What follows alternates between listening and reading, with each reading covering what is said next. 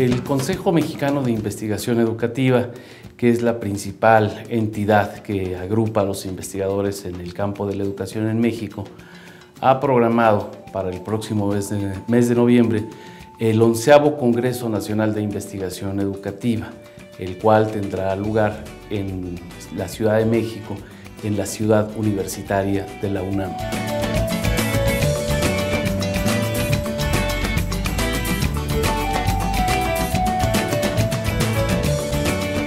El, Congreso es el principal evento a nivel nacional. En temas educativos. En temas educativos, exactamente.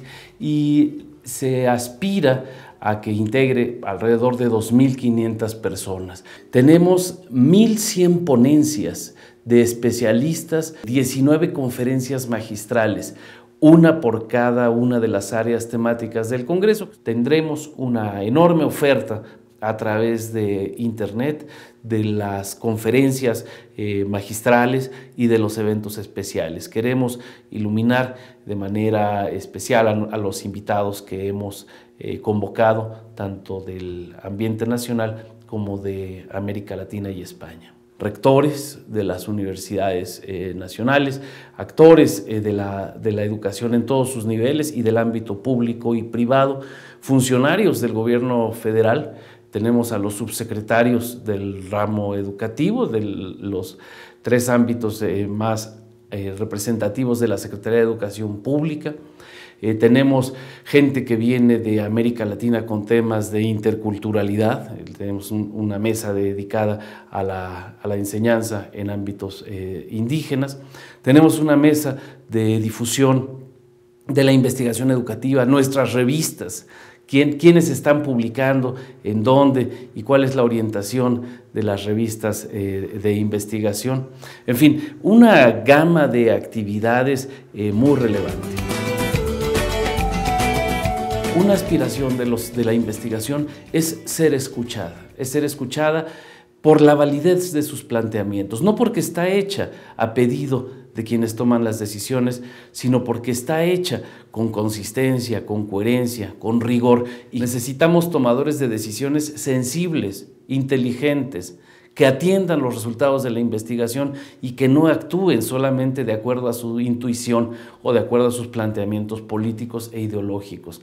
Yo tengo la convicción que en la medida que el Congreso genere eh, conclusiones relevantes, eh, los tomadores de decisiones forzosamente tendrán que mirar hacia, hacia el ámbito de la investigación. Insisto, me, parece que la responsabilidad del, Consejo Mexicano y de su Congreso Nacional es eh, construir un, resultados de investigación o aportar resultados de investigación muy consistentes y que generen respeto por parte de la comunidad externa a nosotros. No es solamente qué es lo que creemos de la educación, sino qué es lo que sabemos de la educación. A mí me parece que el Congreso tiene en, esta, en este objetivo su objetivo general.